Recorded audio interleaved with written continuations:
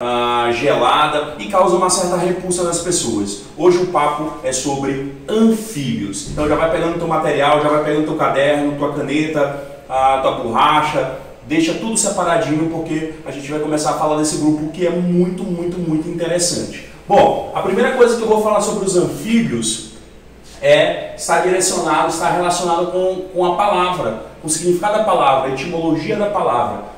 A palavra anfíbio, anfi, quer dizer duas, bio quer dizer vida. Então, organismos que têm duas vidas.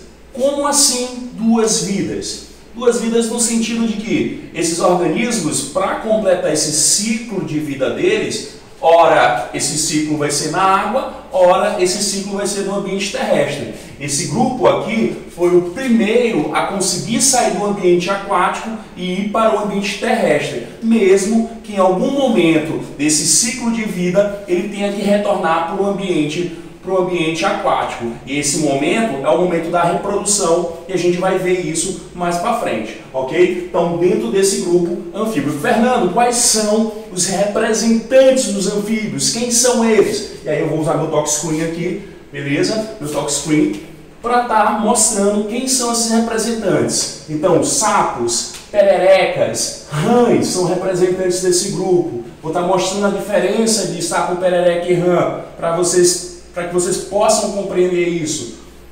Ah, tenho também as salamandras, ok? É um grupo no, no, no, qual apresenta cauda, apresenta um hábito de vida mais terrestre. E temos também os ápodes. Os ápodes são organismos, no caso as cecílias, né, são organismos que não apresentam patas. Então parecem, lembram muito serpentes. E as cecílias também são conhecidas como cobra cega. Então é um organismo que tem como principal característica a, é, a ausência, ou pelo menos olhos bem diminutos, porque são organismos que vivem em ambientes é, que, que, que, no qual criam galerias, um ambiente subterrâneo, e aí, ao longo do processo evolutivo, esses organismos eles foram perdendo essas estruturas locomotoras por estarem vivendo no subsolo. Então, é um grupo que tem como característica a ausência de patas, no caso Cecília. A gente sabe que tudo que não tem pata é alongado, cilíndrico, o pessoal acaba é, confundindo, acaba classificando como cobra, né? como serpente. Por isso o nome cobra cega, porque a gente não consegue identificar a, a, a, a grosso modo, assim, pelo menos um leigo não, a questão da parte anterior do corpo desse organismo ou a parte posterior. Não consegue. E aí acabam matando, né? Porque serpente causa uma certa repulsa, infelizmente, para a maioria das pessoas. Ok? Então, são os representantes: sapo, perereca, rã, salamandras e cecílias. Ok? Então a gente vai estar trabalhando um por um desses organismos. Então, botou representantes, a gente vai para o segundo ponto da aula. Fernando, qual que é o segundo ponto da aula? Deixa eu usar meu talk screen aqui. Características gerais. Então você vai botar aí ó, as características gerais desse grupo, ok? Eu vou voltar aqui, eu vou primeiro para frente, swing com defeito de novo, para frente, pra frente. E aí ao falar das características gerais desse grupo, já falei aqui ó, questão do nome, né? Vida dupla, ora no ambiente aquático, ora no ambiente terrestre. Esse grupo ele tem como hábitos de vida o ambiente aquático e o ambiente terrestre, como acabei de citar, né? Existem adaptações que são muito específicas para esse grupo quando ele está no ambiente aquático e também muito específicas quando eles estão no ambiente terrestre.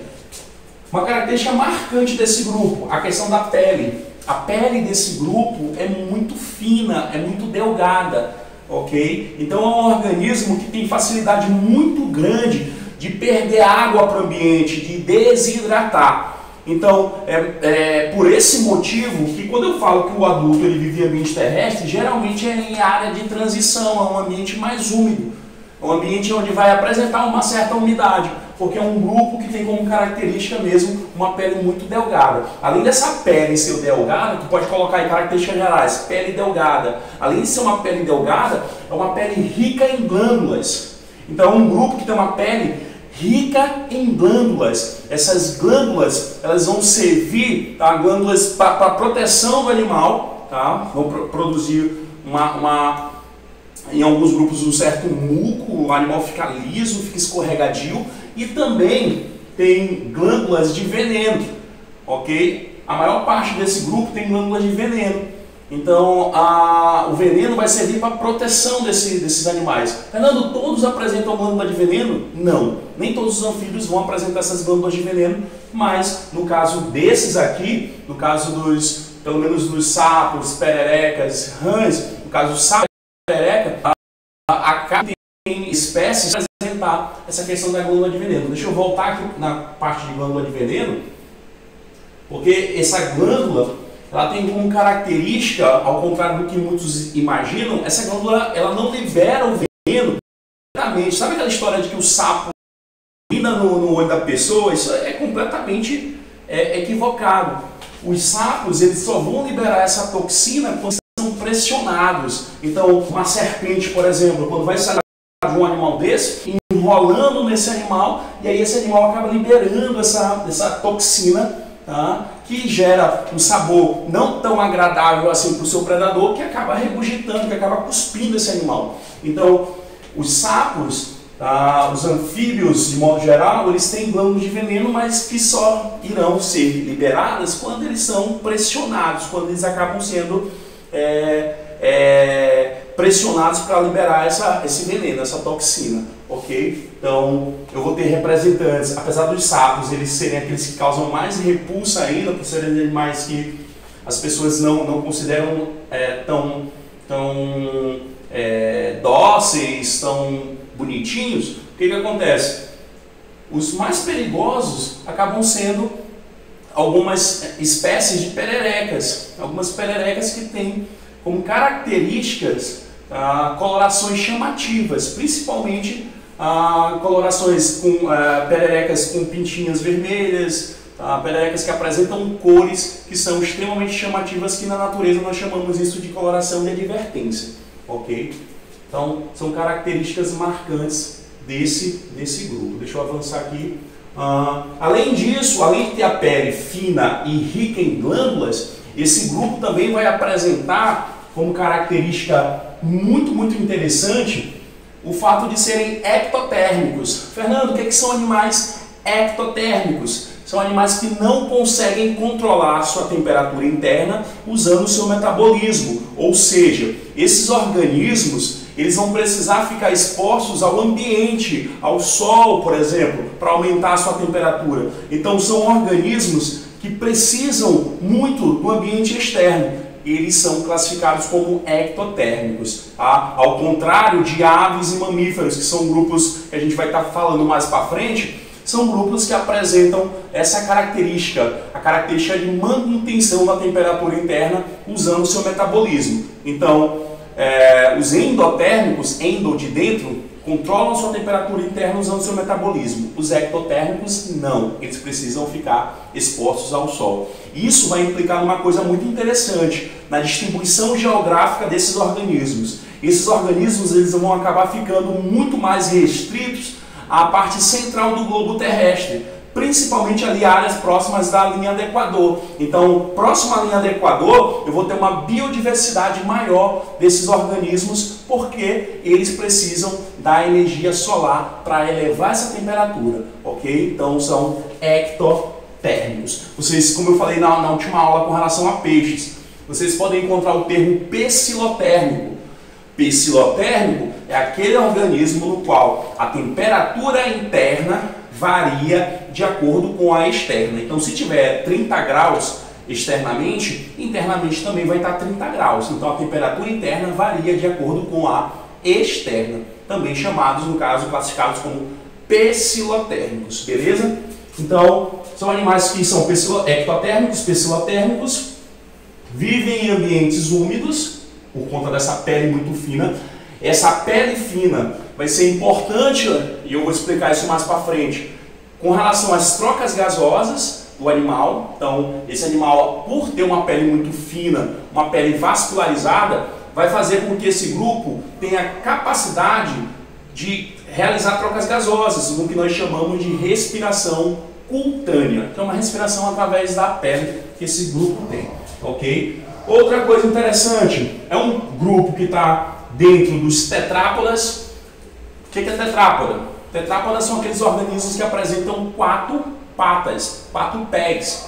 Tetra de quatro, podes de pés. Então são organismos que apresentam quatro pés. Quem serão esses tetrápodas? Serão anfíbios, répteis, aves e mamíferos. Esses quatro grupos serão classificados como tetrápodas. Beleza? Então, deixa eu voltar aqui no meu talk screen mais um pouquinho para falar sobre os órgãos sensoriais desse animal. Esse animal ele tem como principais características a, a, a presença de olhos desenvolvidos, é um grupo que consegue enxergar de certa forma muito bem, ok? Tem a questão da sua narina para estar tá executando uma respiração, então esse grupo, ele, a, além da questão do, do, do, do de usar a narina para o olfato, tem também a questão das trocas gasosas que esse organismo vai realizar e ele, com, com, com, com essa troca gasosa, vai estar tá usando a sua narina. Além disso, tem a questão dos tímpanos. A questão dos tímpanos está ah, associada à audição do animal. Então, uma característica muito interessante é que, dependendo do tamanho do tímpano, a gente consegue é, identificar esse organismo em machos ou fêmeas. O macho geralmente tem um tímpano, acaba tendo um tímpano é, mais desenvolvido do que, mais desenvolvido não, maior do que o da fêmea. Ok? É uma característica que a gente usa para identificar alguns desses anfíbios. Beleza? Então, o papo, que é muito característico do grupo, principalmente quando esse grupo ele vai fazer vocalização, quando ele vocaliza um grupo que vai estar tá usando a, a vocalização para demarcar território ou então para reprodução. Então, dentro dessa característica aqui, o papo para reprodução através de uma vocalização que nós chamamos de coachar. Então, esses animais, eles quando vão reproduzir, geralmente, no caso, período chuvoso, necessita de água, eles acabam coachando usando esse papo e essa vocalização, ela vai ser importante no caso dos machos para estar tá atraindo as fêmeas para processo reprodutivo, beleza? Então aqui são algumas características narina, de papo, de tímpano, tá? de órgãos que vão estar sendo utilizados tanto para reprodução, quanto órgãos sensoriais, quanto também a questão de estar percebendo, no caso, esse, esse ambiente, beleza? Então, aqui dentro dessa, dessa perspectiva, eu vou falar sobre coração e ovos sem casca, que são características marcantes do grupo um pouquinho mais para frente. Bom, Fernando, além da questão desse, desse, desse, desse grupo ele ser ectotérmico, além dele ter uma pele fina e delgada, além dos órgãos que eu, tu falou sobre a questão da, da percepção no ambiente, esse grupo também tem como característica a sua excreção, e aí é um detalhe muito importante que vocês têm que tomar muito cuidado. A excreção desse grupo. Os anfíbios, eles são característicos por ter uma excreção através da ureia ok? Nós falamos dos peixes cartilaginosos, peixes ósseos, e aí eu falei para vocês que os peixes cartilaginosos, eles irão excretar ureia, enquanto os peixes ósseos, eles excretam amônia. Então tem uma diferença lá entre peixes, né? E eu expliquei isso, quem não viu, quem não assistiu essa aula, volta lá, tem a aula de peixes, e aí você pode estar acompanhando, entendendo por que um excreta amônia e o outro vai acabar excretando ureia. Nesse caso específico de anfíbios, os anfíbios de que estão na fase adulta, já estão no ambiente terrestre, eles vão estar excretando ureia, enquanto os anfíbios que ainda estão no estágio inicial de vida, ou seja, o girino, ele vai estar excretando amônia, ok? Então é uma coisa que pode estar sendo cobrada nas questões de tradicional e o aluno ele tem que estar muito atento com relação a isso. O adulto vai excretar ureia e o é, animal no estágio inicial de vida vai acabar excretando amônia, ok? Por que, Fernando? Porque o, o, o, o juvenil ele está na forma larval e por estar na forma larval ele vai estar no ambiente aquático. Nesse ambiente aquático ele acaba excretando amônia, que é uma excreta muito mais concentrada, uma excreta que tem uma, um grau de, de, de toxinas mai, que acaba sendo maior. Né? É, ela, ela no ambiente terrestre acaba sendo muito mais tóxica tá, do que os outros tipos de excreta. Além disso, a gente tem também a questão do sistema digestório desse animal que é completo. E aí tem um outro detalhe que é importante que você saiba. Dentro de, do, do, sistema digestório dos anfíbios, eles vão ter tá, boca e cloaca. Então, anfíbio não tem ânus, anfíbio vai ter cloaca. Então, tem boca e cloaca. E dentro dessa cloaca, e, Fernando, qual é a diferença de cloaca para ânus?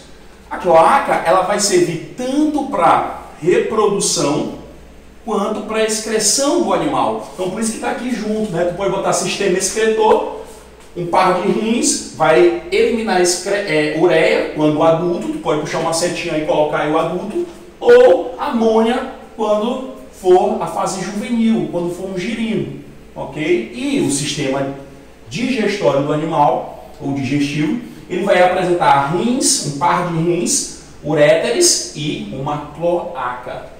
Tá? Então, cloaca de novo, tanto para digestão quanto, ou, perdão, tanto para excreção quanto para reprodução. E aí tu pode tirar um, bater um printzão aí da tela, bater um printzão da tela, tá? Vocês podem fazer também as perguntas, as suas perguntas, caso tenham alguma aí no grupo, aí no fórum, né? Usar isso como um fórum. Já, voltando aqui, voltar então aqui para a gente continuar. Além desse sistema é, digestivo, digestório do animal, vamos avançar um pouquinho mais. Esse grupo, ele, tem, ele é classificado, ele vai apresentar, melhor dizendo, classes. Ok? Lembrando, o reino é animal, o filo, ah, o filo que nós estamos falando é o filo cordato, e abaixo de filo eu tenho a questão das, das classes, né? Re, fi, que é classe e ordem. As classes, no caso, a classe que a gente está falando é a classe anfíbia, e tem a ordem. Dentro dessa ordem, a gente terá, a gente é, irá apresentar no caso, os anfíbios irão apresentar três ordens. Que ordens são essas? Aí você vai ter a primeira ordem, anuros, ok? A ordem dos anuros. Fernando, quem são os representantes dos anuros? Sapo, perereca e rã. Então já anota aí, ó. Representantes dos anuros: sapo, perereca e rã. Ok? Então, Etimologia da palavra, anuro. Nuro quer dizer cauda e o a tem sentido de negação. Então são animais, são anfíbios que não vão apresentar, no caso, a cauda, não apresentam cauda, ok? Então, sapo, perereca e rã. Fernando, qual que é a diferença desses três? Ah, qual que vai ser a diferença de sapo, perereca e rã? No caso dos sapos, eles apresentam essa pele muito mais rugosa, Tá? É um animal que tem características muito mais terrestres, apesar de, não, de ter uma dependência também grande da água, principalmente para reprodução, mas ele tem hábitos muito mais terrestres. A gente consegue identificar e diferenciar esses três grupos, esses três é, organismos, sapo, perereca e rã, através das suas patas. Então, se você vê a pata de um sapo, ele tem dedos mais alongados e adaptados para o ambiente terrestre ok? Então é característica de sapo ter esses dedos alongados. Vou passar aqui tá? e vou mostrar para vocês a, uma perereca. Tá? A perereca ela já tem na ponta dos seus dedos, na ponta dos seus dedos, ela vai ter esses discos, tá? esses discos que tem como principal característica aderir ao substrato. Então são discos que facilitam a aderência desse animal ao substrato. Então, as pererecas apresentam esses, esses discos aqui nas extremidades dos dedos, o que deixa esse animal extremamente é, fácil de ser identificado, ok? Esse animal aqui, ao contrário do sapo, ele já está mais no ambiente de transição. Então é muito fácil, é muito comum você encontrar esse animal, por exemplo, num banheiro, numa cozinha da vida, porque são ambientes onde vão ter uma, um grau de umidade maior. Então, é, as pererecas elas já ficam naquele ambiente de transição, né, terrestre para o aquático, ambientes úmidos. E a gente tem também as rãs. A rã ela tem como principal característica apresentar uma membrana intestinal. O que é essa membrana intestinal, Fernando? São membranas que ficam entre os dedos, ok? As rãs elas apresentam hábitos aquáticos. Esses animais são aquáticos, então são membranas que vão ficar entre os seus dedinhos e que vão servir para essa natação, ok? Então, sapo, perereca e rã, rã, rã, já é o, o funkzinho, tu já grava aí, ó, sapo, perereca e rã, rã, rã, rã, rã, já salva aí o funkzinho, que são dos anuros, beleza? Então, sapo, perereca e rã são os representantes dos anuros, animais que não apresentam cauda. Beleza? Vamos para a próxima aqui. A próxima ordem que nós temos dentro dos anfíbios é dos urodelos. Fernando, quem são os urodelos? Os urodelos são aqueles que apresentam cauda, ok? Então, no seu estágio, no seu estágio é, adulto de vida, vão apresentar essa cauda,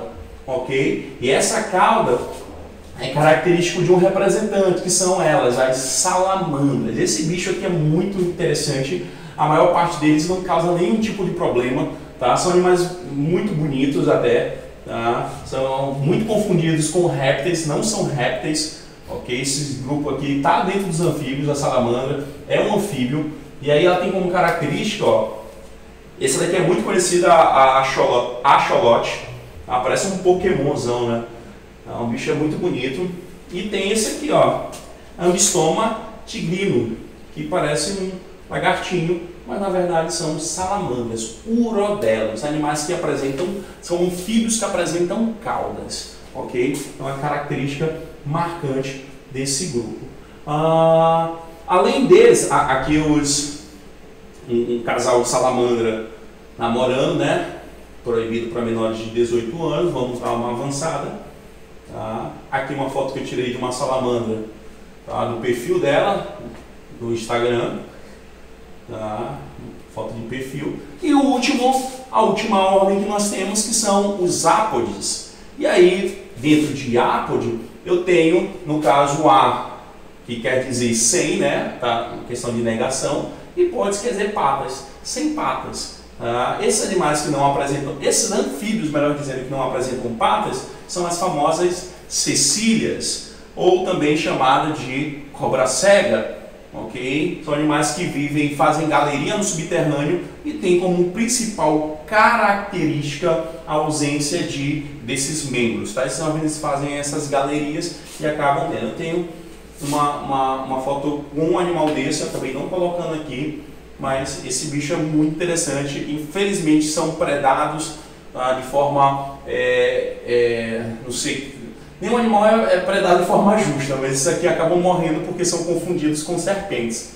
Tá? A pessoa olha lá um animal desse, uma minhoca gigante, né? acaba confundindo com uma serpente e aí por acreditar que eles apresentam toxinas, o que não é verdade, eles não apresentam essa toxina, eles acabam sendo mortos, eles acabam sendo eliminados. Tá? Aí mais fotos tá, da, da, da, das cecílias, de como elas se apresentam.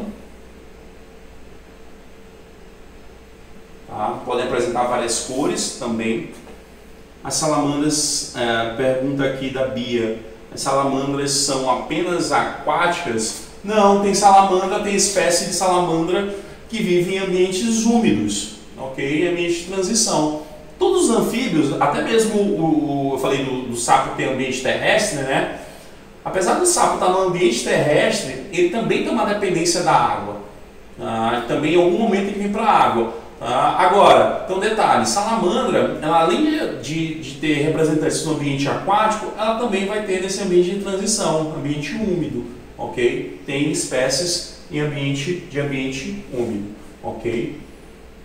Então, avançando aqui, aqui vocês estão vendo, no caso, ovos desses anfíbios, que a gente tem ovos de, de, de anfíbios. Percebe uma coisa, os ovos dos anfíbios são gelatinosos, tá? não é aquele ovo com casca, aquele ovo formado que a gente vai ter nos, nos répteis. Esse grupo aqui apresenta ovos sem casca e faz com que o grupo tem uma dependência muito grande da água para a reprodução. Imagina só ele colocando esses ovos no ambiente terrestre, com a questão das, da, da, da, da insolação, da questão da, da, radiação solar, melhor dizendo.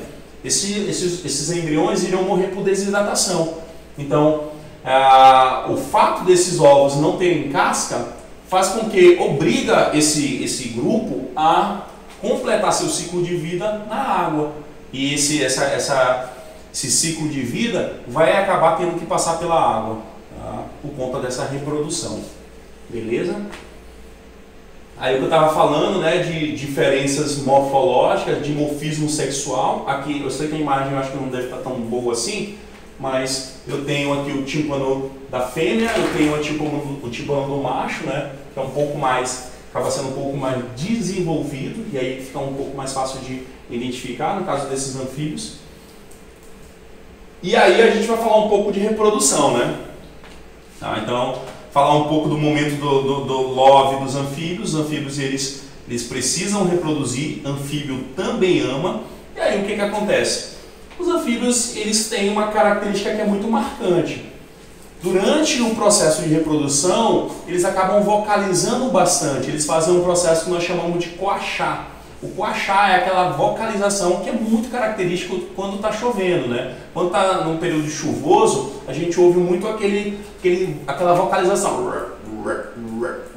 O sapo vocalizando, os anfíbios vocalizam e a vocalização através do coachar serve para atrair, no caso, fêmeas, atração de fêmeas. Então as fêmeas acabam sendo atraídas por conta desse coachar. Algo muito interessante também é que é, alguns, algumas espécies são territorialistas, então elas acabam demarcando a sua área através dessa vocalização. Então são animais que vocalizam para, no caso o macho, né, para demarcar esse território. Uma coisa que acontece que é muito interessante também em algumas espécies é que existe um, o que nós chamamos de macho satélite. O que é esse macho satélite?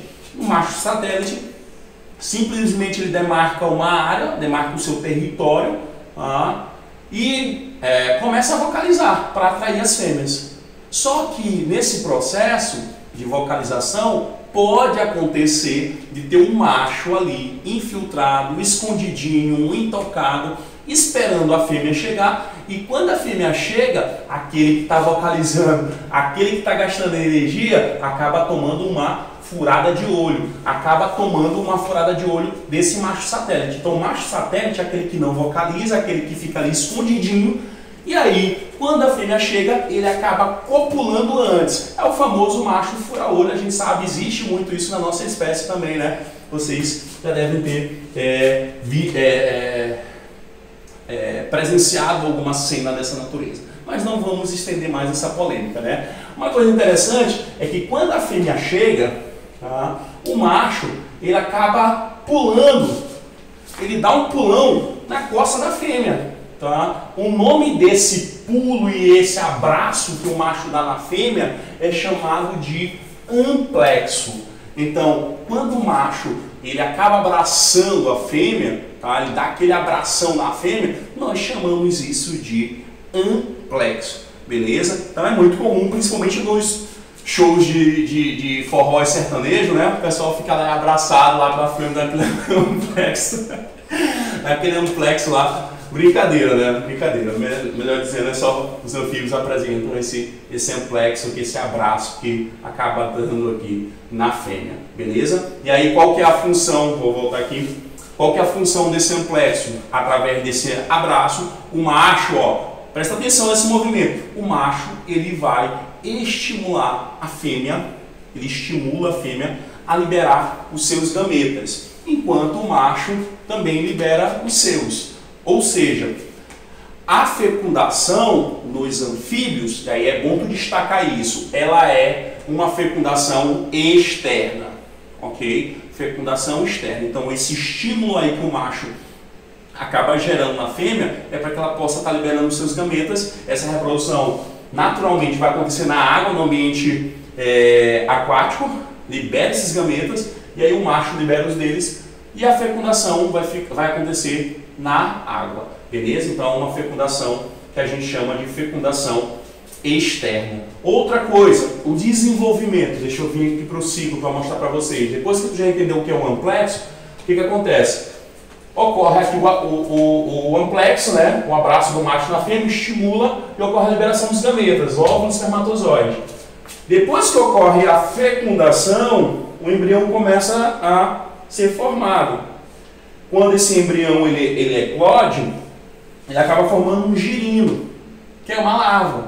Detalhe, isso traz para a gente a ideia de que a, a, a fecundação é externa e o desenvolvimento é do tipo indireto. E por que, que o desenvolvimento é do tipo indireto? É indireto porque apresenta, um, apresenta o estágio larval. Ok? Então, toda vez que tiver estágio larval, o desenvolvimento é indireto. Beleza? Tem uma larva, é indireto. Depois que esse, esse girino, tá, que tem características que são muito específicas do girino, vai falar de troca gasosa, tem que tomar muito cuidado, porque na fase adulta, eu vou falar daqui a pouco disso com, uma, com maior propriedade. Na fase adulta é, é uma e na fase é, juvenil é outra. Na fase adulta é pulmonar e cutânea, na fase juvenil vai ser branquial. Tem que tomar cuidado com isso. Tá? Na fase é, juvenil a, a excreção é amônia, na fase adulta vai ser ureia, como a gente acabou de ver. Né? Então, o girino ele passa a sofrer um processo de metamorfose. Fernando, o que é uma metamorfose? É uma mudança drástica, ok? Então, essas células vão começar a, a, a, dentro desse processo, a desaparecer algumas estruturas aqui do corpo desse animal. Por exemplo, ele vai perdendo essa cauda, ele vai perdendo a cauda, ele vai desenvolvendo patas, membros, ok? Então, esse processo de metamorfose, de modificação drástica. E aí, quando essa metamorfose ela, ela é completa, o organismo sai do ambiente aquático e vai para o ambiente terrestre. No ambiente terrestre, ele já vai apresentar os membros, já que é um grupo que está inserido dentro dos tetrápodas. Atenção, nem todos os anfíbios eles vão ter quatro patas. Eu já te falei que os rápodes não têm patas. Logo, eles, eles acabam não tendo essas estruturas locomotoras, mas é, acabam sendo exceção, ok? Estão dentro do grupo dos tetrápodes. Então, os anfíbios chegam à fase adulta com essas estruturas, com esses membros locomotores. Curiosamente, os membros é, posteriores do animal são membros adaptados ou para natação ou para saltar. Então, são estruturas adaptadas para diferentes formas de locomoção. Beleza? Então a característica desse, desse grupo aqui sair um pouco da frente de vocês para que vocês possam dar um print aqui. Eu posso estar disponibilizando também esse material, mas é melhor estar anotando mesmo. Tá bom? Beleza. Vamos avançando aqui.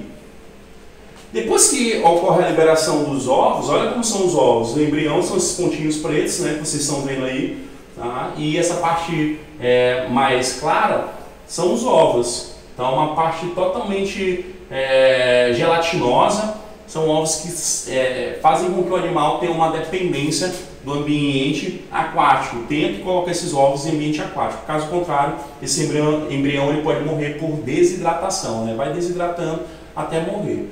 Beleza? Aí uma imagem desse animal carregando, de algumas espécies que carregam esses ovos, podem carregar esses ovos no dorso, então que são ovos desses animais no dorso. E aí essa transição que eu quero mostrar para vocês. Vou voltar aqui. Transição, tá? Dentro da reprodução, o adulto, tá? ele coloca esses ovos na água e aí esse depois da, do processo de, de, de eclosão, depois que esses, esses, esses filhotes acabam eclodindo dos ovos, eles formam girinos, eles são, é, acabam se desenvolvendo em girinos girino não tem cauda, o girino tem uma respiração branquial, o girino tem uma excreção através do que nós chamamos de amônia, ok? E aí ele vai sofrendo a metamorfose, ele acaba sofrendo essa metamorfose e dentro dessa metamorfose ele vai perdendo a sua cauda, ele vai é, desenvolvendo os membros até essa metamorfose ela tá completa, tá? Então aí é só para mostrar esse processo de transição que esse grupo ele vai acabar apresentando, beleza? Aqui o ovo, para ilustrar, e aqui a, a questão dos girinos, né? Eles vão perdendo. Curioso, curioso esse processo é que as células são programadas, né? Programadas no estágio inicial de vida até o adulto.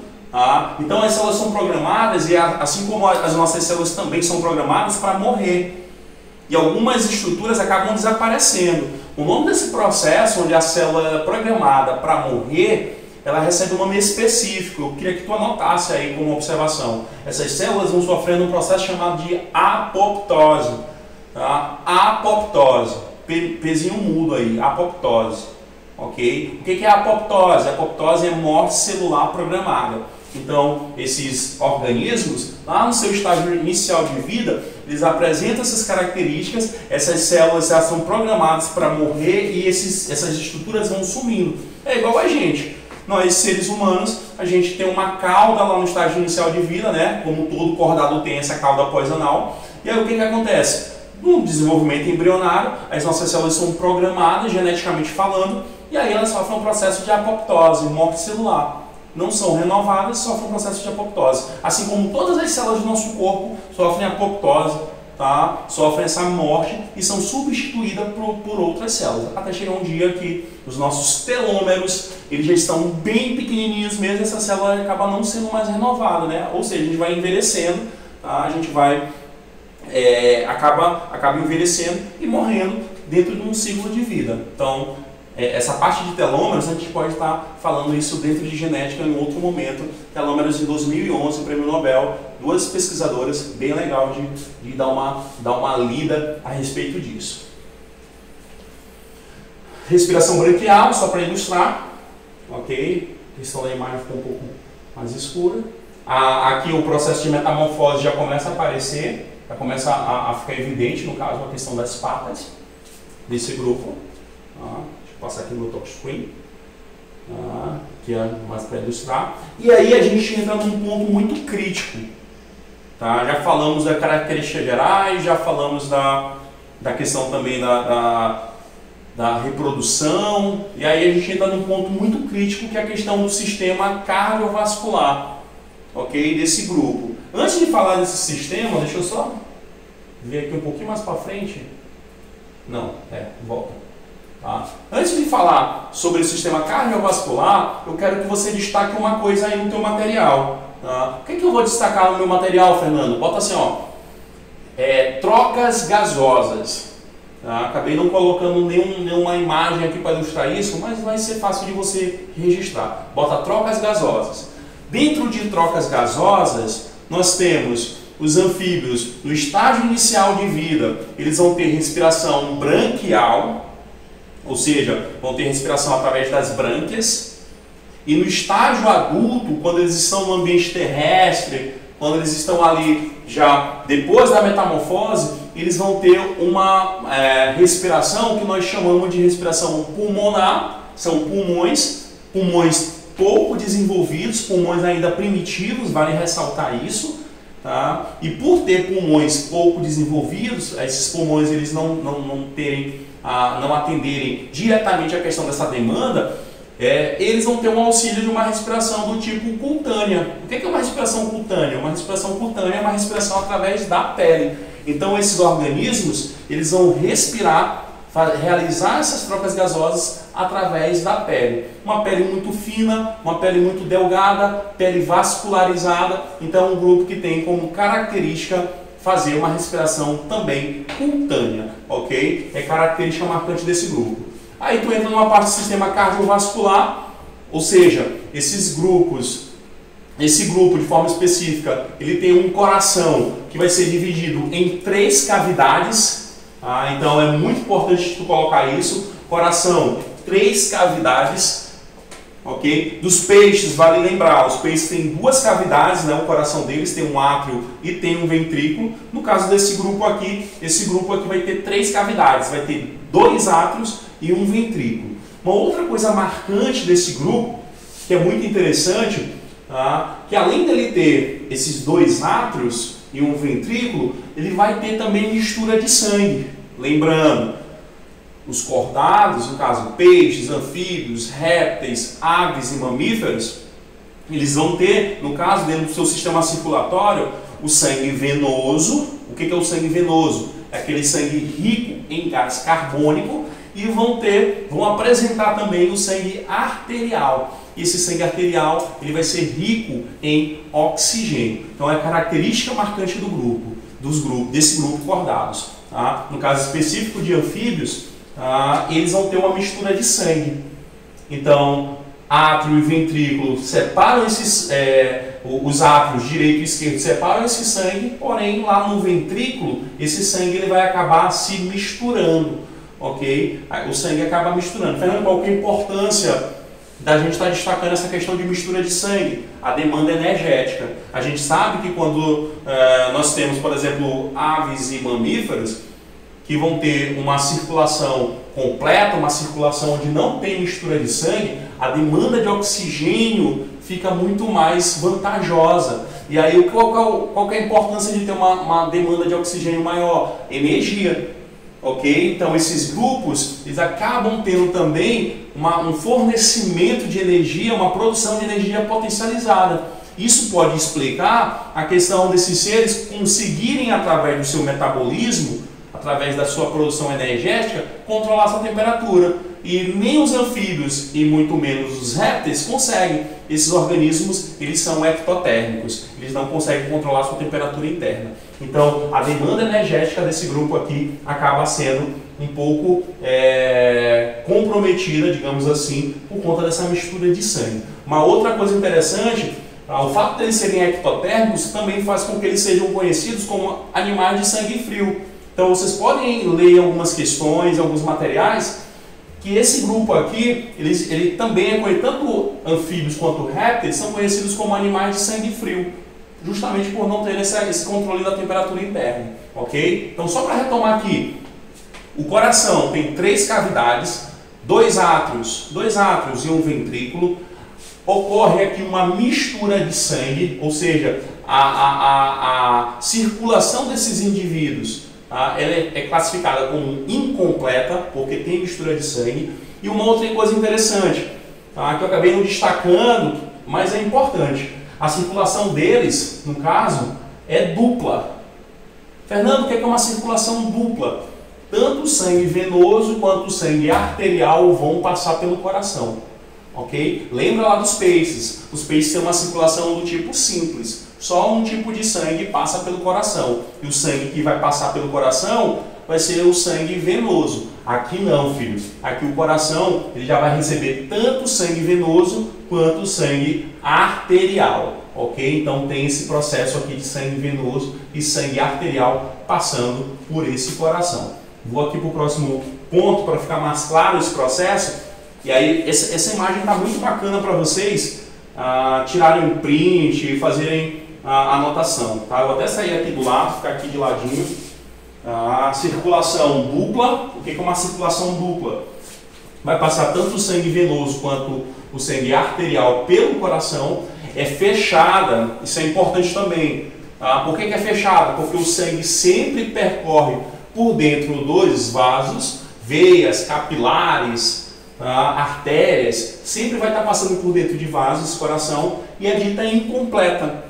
Por que, que é incompleta? Porque ocorre mistura de sangue. Onde vai ocorrer essa mistura de sangue? Lá no ventrículo. Ok? Então, dois átrios e ocorre a mistura no ventrículo. Beleza? A Bia está perguntando aqui. É, diz que também tem a bucofaringe. Sim, sim. No caso, esses organismos eles têm como característica essa, reprodução, essa respiração através de, de, de cavidades laterais, tá? que, vão, esse, que, que, vão fazer com que esse gás ele acabe penetrando diretamente ali, é, fornecendo diretamente para os pulmões. Então essa respiração ela vai ter uma ligação, ela vai ter um, um, como característica está alimentando diretamente essa faringe, vai passar por essa faringe, a faringe é um tubo que é comum tá? tanto para respiração quanto para digestão, tá? vai ser comum para os dois, e alguns organismos acabam recebendo esses, esses gases diretamente através desses canais laterais, diretamente no, no, no é, diretamente para o pulmão, direcionado para o pulmão. Ok? Então tem como característica um, um, esse tipo de troca gasosa. Ah, mais, mais, mais aqui. E aí a gente vai para a questão das. E aí a gente vai para a questão das, é, das perguntas. Ah, tá perguntando aqui, ó, Fernando, as hemácias são anucleadas? São anucleadas. E esse fato das hemácias serem anucleadas é porque elas apresentam uma, um, acabam apresentando um espaço maior para carregar gases.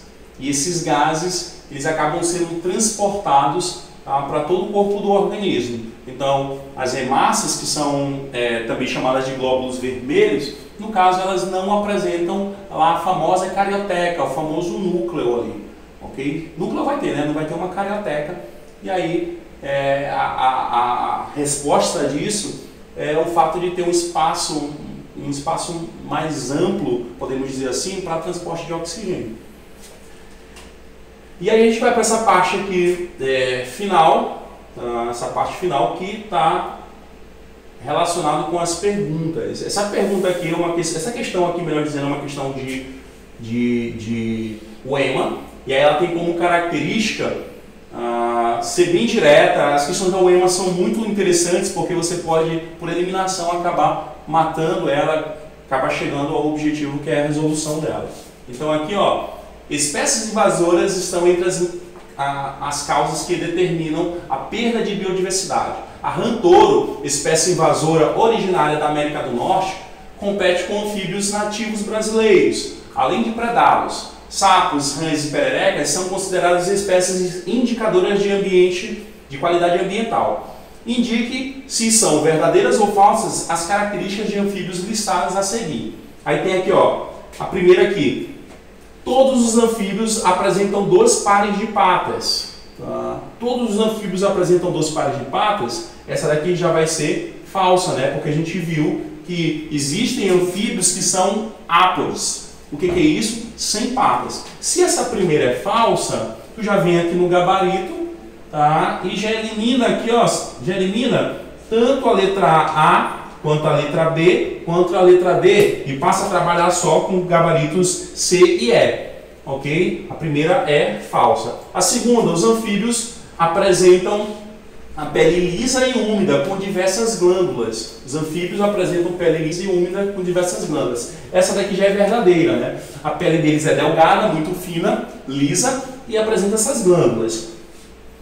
Então essa daqui já vai ser verdadeira. Então, se é verdadeiro, só sobra aqui gabarito letra E, ok? Respiração dos anfíbios é exclusivamente pulmonar, é falsa, né? Porque tem também a respiração cutânea. E tem a outra aqui que está falando que o coração ah, tricavitário, com três é, cavidades, a circulação é dupla através do coração. Então essa daqui é verdadeira, como a última também é verdadeira. Eles têm sexos separados, tá? Tem, ser é, dioicos, tem sexos separados e essa última também é verdadeira. Então gabarito aqui letra E.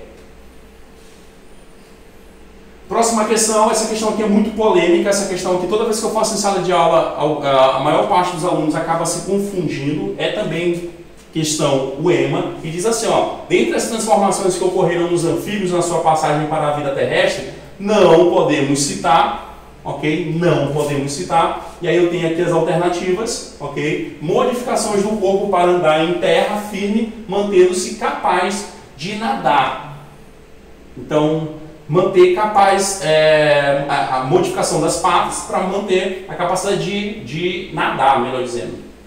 Isso aqui é característica, é, é a questão correta sim ou não?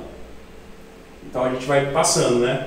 Capacidade de pôr ovos, desenvolvimento de pernas no lugar de nadadeiras, é C. A demodificação na pele para a exposição do ar, substituição das brancas por pulmões, Vale ressaltar, ele está querendo não, não podemos citar. Qual transformação que a gente não pode citar, que foi adaptação para o ambiente terrestre? Logicamente, gabarito letra B, a capacidade por ovos. Isso é uma característica que não foi modificada. Tá? Os organismos já botavam ovos no ambiente aquático, no terrestre continuaram botando. Ok? Então essa capacidade por ovos foi algo que não mudou, então o gabarito aqui é a letra B. Tá bom? Vamos para a próxima. A próxima, muito interessante essa questão, porque dá para eliminar e chegar também a um objetivo, chegar a um gabarito rapidinho. O esquema a seguir representa as fases de desenvolvimento de um anfíbio anuro. Sobre esse processo, analise as seguintes afirmativas. Ovo, ovos, girino, o girino sofrendo metamorfose e aqui o adulto. Na fase laval, a respiração é cutânea e na adulta é branquial. E branquial, tá? fase adulta, na terra com brânquia, não rola, né? Então tu já elimina aqui a primeira.